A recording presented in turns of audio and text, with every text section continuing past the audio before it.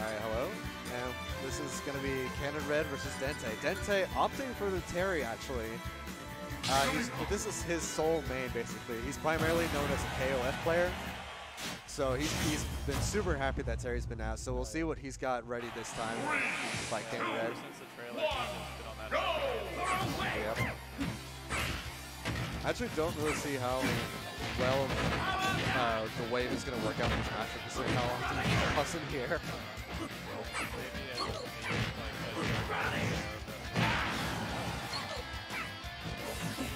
Yeah, already. That, that's the that's the thing that's helping out Terry this much uh, in this matchup is that he hits like a truck, uh, but he's dead. Yep. I think if he teched on the platform, he would have been fine. Uh, he didn't get the run enough down tilt he wanted.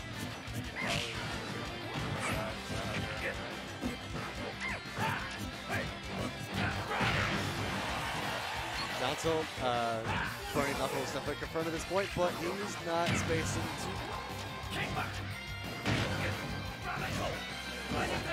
Yeah, yeah. That, that's that's the yeah that's the matchup. He's just not able to get out the skill. I think if he just uses the power dunk, he should be fine. Yep, there it is. Right on cue. Jeff, you need to tag those. You're dead. It's kind of like Terry can go up pretty but a lot of them are ground based, so Yeah.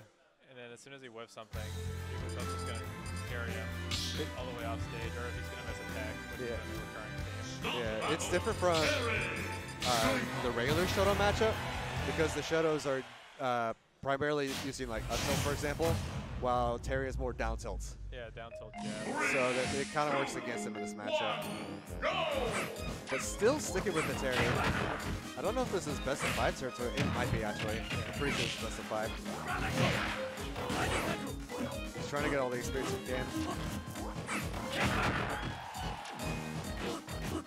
Yeah, I definitely see that kick coming into play pretty well.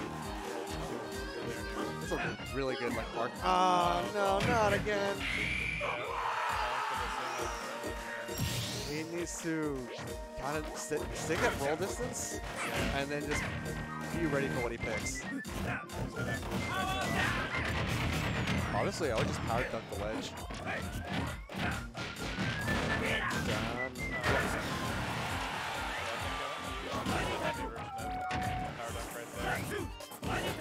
Oh, okay, Cannon not going off stage.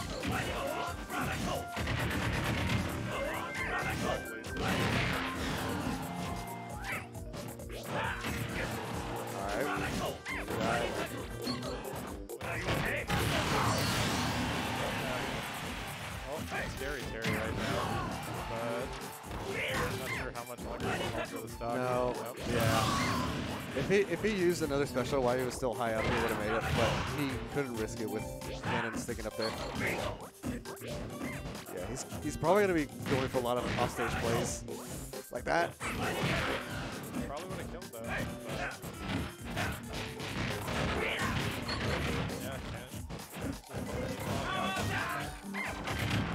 Yeah, I, I wouldn't. Yeah, yeah, yeah, yeah. I think he lost his jump. So. I think considering how floaty Puff is, it'd probably be better to go for the down tilt up B confirm because you get the damage from it, and that's I believe at like 120 will probably kill. Yeah, probably on top around like 90. Sure. Yeah. But but we are seeing the switch to Pikachu. Yeah, I kind of figured since it's like game three, might as well. Yeah. Three, two, Going back to Smash Bros.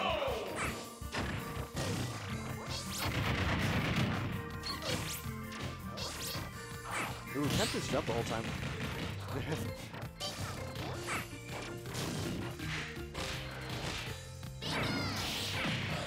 and dead. Yep. Yeah.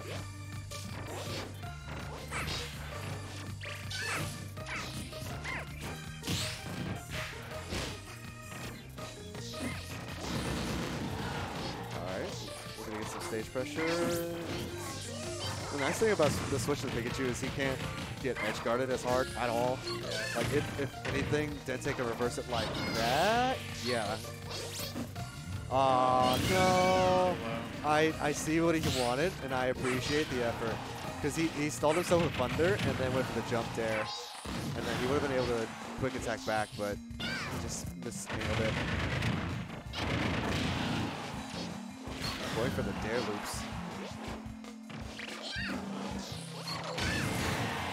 Oh, okay. That comes out a little faster than the Yakko animation. Interesting.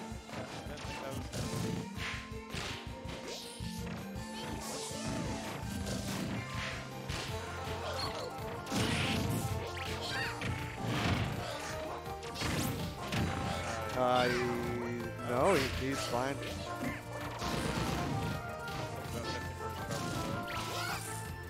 He's an air confirm. It's such a, a good tactic. If you just hang on ledge while Puff's going down low, you can just kind of wait until she exhausts most of her resources. No safe fight. Still in this.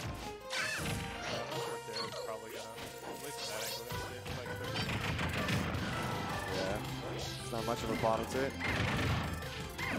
Oh, I thought he was dead.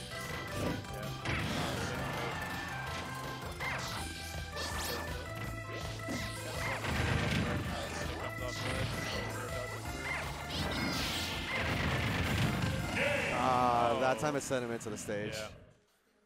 Sometimes it sends you like a little bit forward or just like this weird little angle behind him. Cannon Red. Yep.